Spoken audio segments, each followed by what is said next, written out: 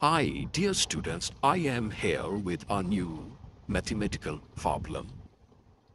Hopefully you have enjoyed previous videos and questions. This is very interesting question and mostly the students cancel 5 and 5. So their answer will be 50, but it's wrong. First of all, you have to solve the function which carries division. So, 50 divided by 1 by 5.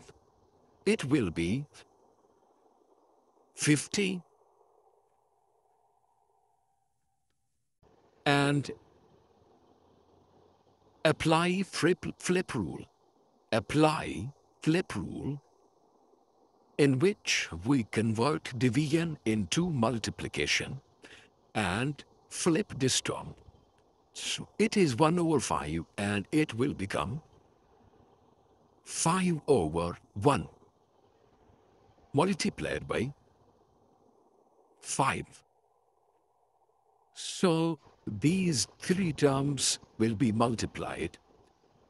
50 multiplied by 5 will be equal to 250 multiplied by 5. So 250 is multiplied by 5 and our answer will be